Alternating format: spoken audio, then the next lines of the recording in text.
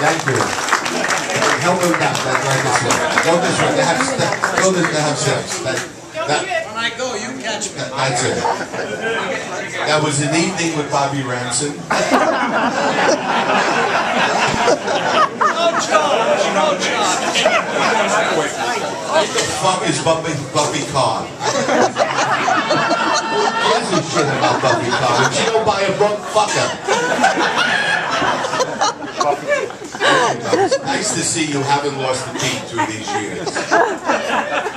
Right for me, you go to Century Village, West Palm Beach.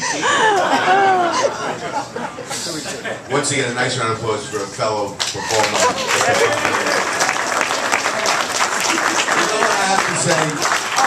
I'm so proud to be in a book that says old Jewish comedians because the worst curse in show business when we all started and we would work Las Vegas or we'd work anything, the first thing you were told was don't be too Jewish. Don't be proud of your ethnic background. Don't mention it on stage.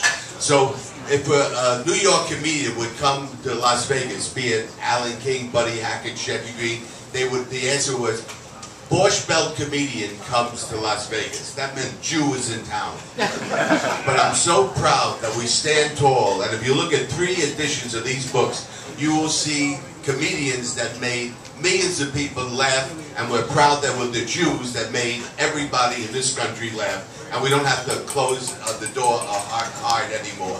Thank you, Drew. That's it. I'll, I'll tell you a great uh, story now. The, the, I think one of the finest monologists that ever lived was Alan King. He was our abbot, and he was the nicest guy who would hold court at the bar every night. And Alan King told me this joke. It's not my joke. It's Alan King's joke. And whenever I work in uh, Florida, anyway, I do this joke in tribute to Alan King.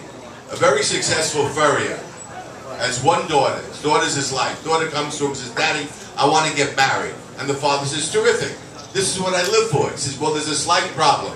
He said, what's the problem? The boy's a Hasid. He said, well, send him in tomorrow. I'll, I'll look at him. Boy comes in the next day, black hat, payas, sits his hang, long black coat. He took one look. He says, for this, I had to get her teeth fixed. He says, young man, I understand you love my daughter. Yes, sir, with all my heart and soul. Let me ask you a few questions. What have you been doing in your life? I've been a professional student my life. I studied the Torah, the Talmud. Well, how did you live? He said, I prayed God would provide. He said, you want to marry my daughter? Yes, sir. Who will support my daughter? I will pray God will provide. what about children? We'll have a lot of children. Who will support these children? I will pray God will provide. With that, the daughter walks in and says, Daddy, do you like him? He said, like him. I love him. He thinks I'm God.